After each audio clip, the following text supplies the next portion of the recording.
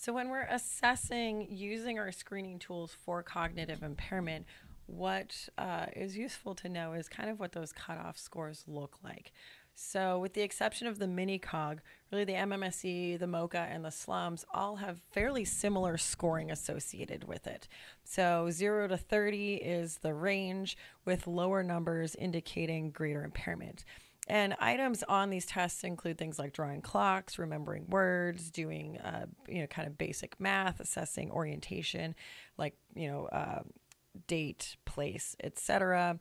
Um, being able to think abstractly, so associating words together, like you know apple and banana are both fruit, sort of thing.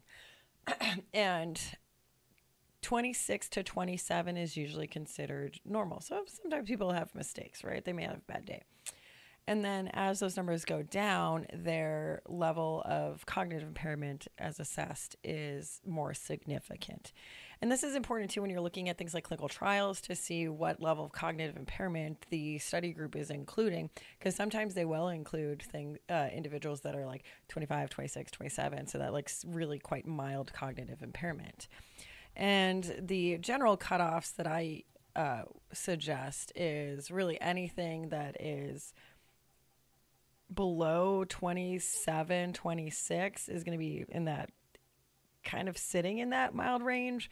But really, the general cutoff that we recognize is looking at 23 to 18 as like clinically significant mild impairment.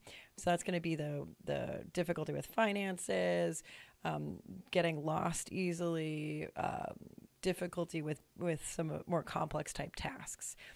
10 to 17 is more moderate, so you're going to see some more impairment in activities of daily living, disorientation, um, forgetting like notable details of things, fluctuation in um, their presence, their functionality. They really can't drive at that point. They may become uh, have more of those behavioral type symptoms.